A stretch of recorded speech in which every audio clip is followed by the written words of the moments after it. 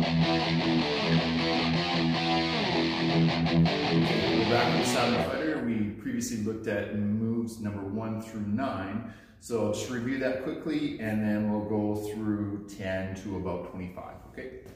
So it was one, two, three, four, five, six, seven, eight, nine.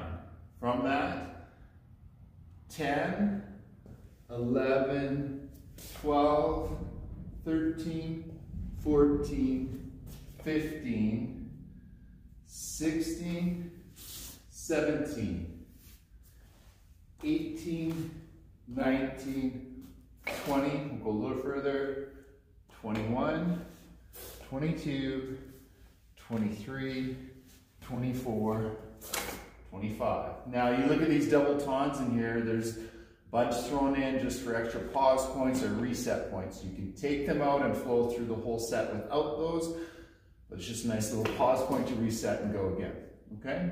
So again, we're gonna go from 10 to about 25, okay? So start at nine, which is the same position as one. Remember, NSI has many core concepts, one of them being adhesion. So when I enter on that beginning point of one, I'm adhering to that. When I roll, very chi sao, like sticky hands like, okay? So get used to that motion in there.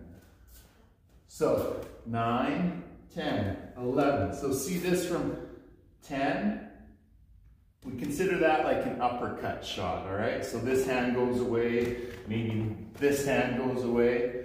So we're here, we're checking that uppercut, driving an elbow, and you can see my other hand here is then replacing and checking again.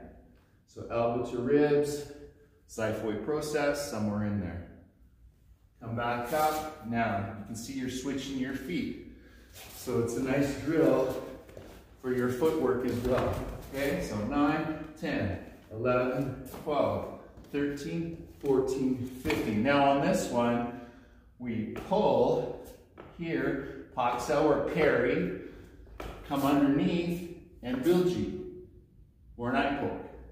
Contour down that hand and you can use the fighter or your opponent for your balance. This one, down, okay? Downward stomp, side kick. Turn it in, inside stomp kick. Roll it over, pause, Pak Sao, bilji, use your opponent, and then two kicks. Okay, so let's go from one. So I'm zoning out, I go one, two, three, four, five, six, seven, eight, nine, 10, 11, 12, 13, 14, 15, 16, 17, 18, 19, 20, 21, 22, 23, 24, 25. NSI Canada, Silent Fighter, moves 1 to 25. Again, if you do not have the silent fighter, do it in the air because it still works. Still works your footwork, your hands. Keep your box nice and tight. Don't be all spastic with your hands. Okay, play with it. Let me know what you discover.